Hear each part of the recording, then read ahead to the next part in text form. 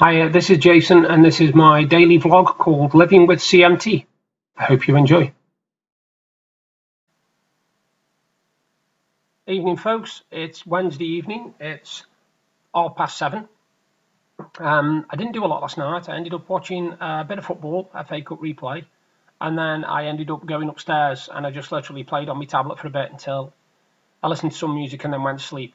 Uh, we were going go town today, um, we're now going town tomorrow. I'm sorry I keep doing that, by the way. It's just making me itch. I'm not used to having a beard and moustache.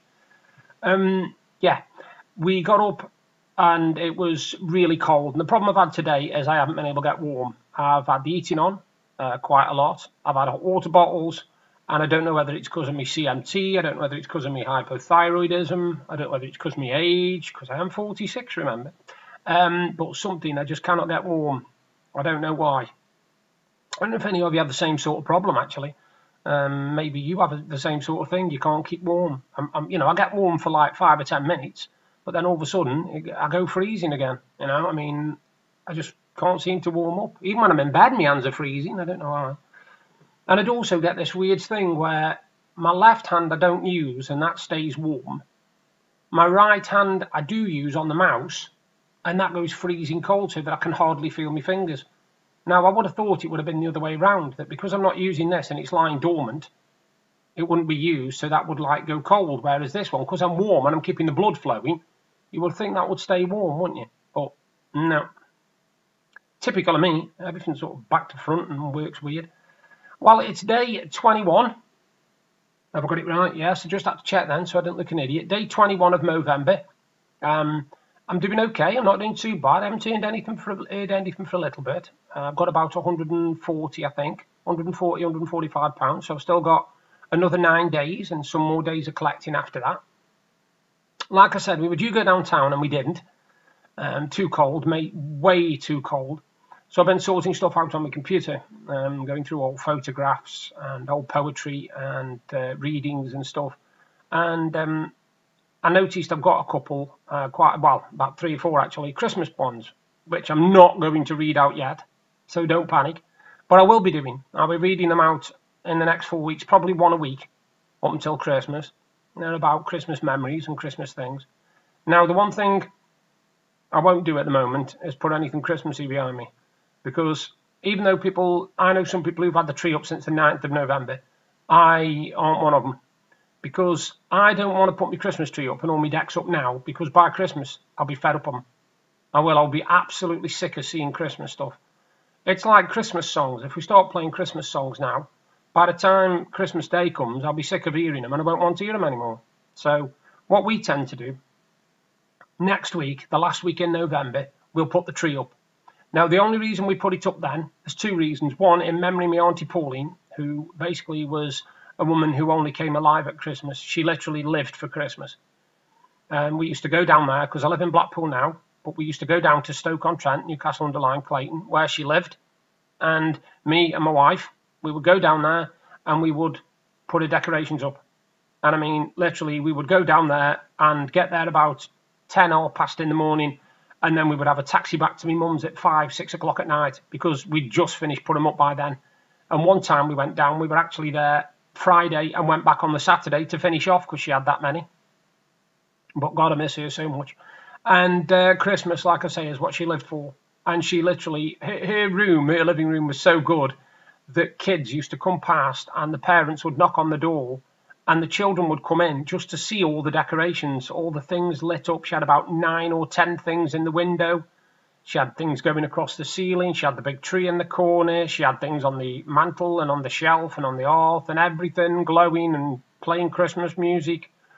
And what my job was, because obviously I couldn't um, put, I didn't put up the tree or nothing. That was a daughter who used to put that up. But what we used to do, we used to do all, I used to do all the electrics because she literally had nine or ten things in a window and I had to make sure that because she had arthritis and other problems, I wanted to make sure she didn't have to uh, bend down much. So I would always make sure that I managed to get them all off one big long adapter and made it so one switch turned everything on, one switch turned everything off. And uh, I used to do it, you know, I used to get it done. And uh, this was when I was a lot more physically able than I am now. I used to be able to climb up ladders and, and, and stuff like that. Um, now, no, I wouldn't be able to do it now. Um, I'd still have tried, don't get me wrong. If she was there and she wanted me to go down there, we'd still go down. It's just I'd probably end up sitting down more than them, you know. Christmas, eh? I noticed something yesterday which made me laugh and cringe and cry and worry about the state of the world. Uh, Marks and Spencers have got a campaign at the moment, and their campaign for Christmas is called Must Haves. Basically, must have food, must have drink, must have um, outfits, etc. And one of the things they put was must have sexy lingerie. Now, the feminists have come forward and said that this is sexist and it made them feel physically sick. Well, I'm sorry, but get a life, you sad people. M&S are not saying that you must have sexy underwear. They are not saying that. It is part of a massive campaign, and I'm behind M&S 100% on this because I've seen it in Windows. They are basically suggesting things, you know, like, you know, if you see um, a TV that you think is fantastic and you say to your mate, oh, it's a must-have, oh, it's a great, oh, you want to see it, it's fantastic. You're not telling him he has got to buy that right there and then because he must have it. It's, it's an expression. We've always used that expression, a must-have. You know, it doesn't mean everybody has to go out and buy it. It's just an expression. But these people have got right on the boat, and I don't blame M&S have issued a statement today saying they're not backing down, and I don't blame them. If they want me to sign a petition, I'll sign it a thousand times. Feminists sometimes are taking things way too far, and this is one of them occasions. This is just an advertising campaign, you know, and I wouldn't mind, but next to where they've got this photograph where it says must have underwear, and bear in mind there's a dash between the must have, right? Because it's just an expression. They've also got must have um, clothing. The outfits must have Christmas outfits, but nobody's complaining saying, well, hang on a minute, I don't want buy that outfit, so why have I got buy that outfit? It's only the feminists that are coming forward and having a paddy on these this this lingerie stuff, which it drives me nuts. It really does drive me nuts. I cannot see the point of why you would moan about an advertising campaign unless it was obvious that it was sexist, it was obvious that it was racist, obvious that it was against disabled people or whatever. This is not. This is a bog standard advertising campaign, and I think it's a good campaign. It's called the Must Have campaign. And if you check it out, you tell me if you think it's sexist or, you know, making belittling women or whatever. It isn't. It isn't. It's just complete cobblers. Um, yeah, if you noticed last night's video, it uh, seemed to be further away. The camera did. Um, I had a bit of problems last night with my webcam on my computer. For some reason, every time I plugged it in and started speaking, the sound, would, my voice would literally appear on the screen about four seconds after I'd finished speaking. So I looked like I was doing some sort of like Japanese kung fu movie from the 70s. I was kind of going, and then the voice was coming out, how are you today? You know, it's like, I couldn't figure out what was wrong, so I just used my camera that was built into my laptop. And even though it wasn't very good, it's not a very good picture, it never has been, but it still did the trick for last night. Right, we, we are going town tomorrow. We are definitely going town tomorrow. Um, we've got stuff to do. We've got things to buy. And as I explained, I'll, I'll continue where I was. Sorry, I've lost myself on a tangent. Right, the reason we put the tree up at the end of the, the, the end of November, I said one reason was my Aunt Pauline. The second week is my wife uh, does all her own cooking, baking.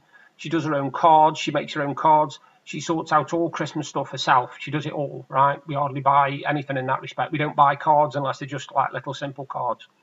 Now, because of that, the first three weeks of Christmas, obviously up to about the 21st, are busy, really, really busy. Now, if you've got to filter in to that, the fact that you've got to do Christmas decorations as well, you're not going to have time. So what we do, we allocate the last week in November for the decks and everything that's got to be done in the house. And then Deb settles down to do her cards and all that sort of stuff. Um, yeah, so uh, that's that's her busy, her busy time is coming up. She's actually in the process of doing a couple of cards at the moment on commission for family members because they think her cards are wonderful.